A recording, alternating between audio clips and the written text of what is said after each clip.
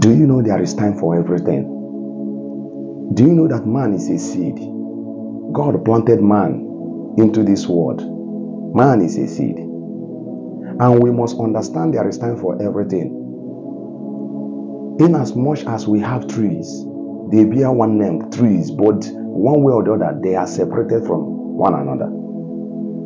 The time of mango tree to bear fruit is not the same with orange. The time cashew tree will bear fruit is not the same with palm tree. So, but they all are classified and they all are called trees. Likewise, man, every man has season in his life. There is that season when the season of a man has not yet come. It seems as if nobody knows that man. When the season of a man has not yet come, all he or she is doing may not be working. But when his season or her season comes, everything will turn around. I discovered at the time of orange tree, the season of orange is different from purple season. And when orange is bearing fruit, orange may be mocking purple tree and say that this purple tree is a barren tree. Forgetting there is a season, he as, as, that orange will no longer bear fruit. It will be the season of purple. So I want you to know that your own season is coming. Your own season is coming.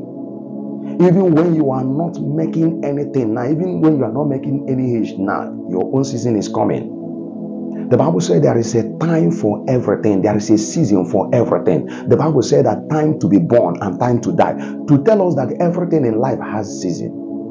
No matter how you pray, no matter how faithful you are, no matter how faith you have, there are some things in your life that will never happen until this time comes.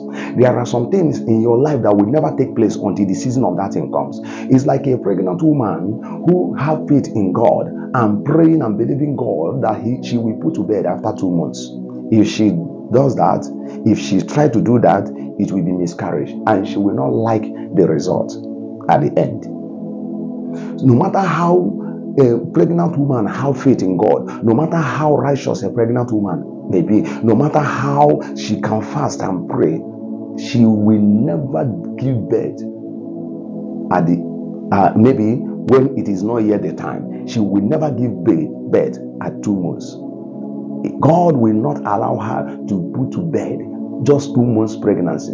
It will never happen. So there are many things in your life today. You are discouraged that things are not working. You think that God abandoned you. You look at your friends. Your friends are doing well. You look at your neighbor. Your neighbor are doing well. It may be their own season. And I tell you, listener, your own season is coming. Your own season is coming. David said, I, My time is with the Lord. David said, My time is with the Lord. And I want to tell you, listener, your time is with the Lord. Your own season is coming.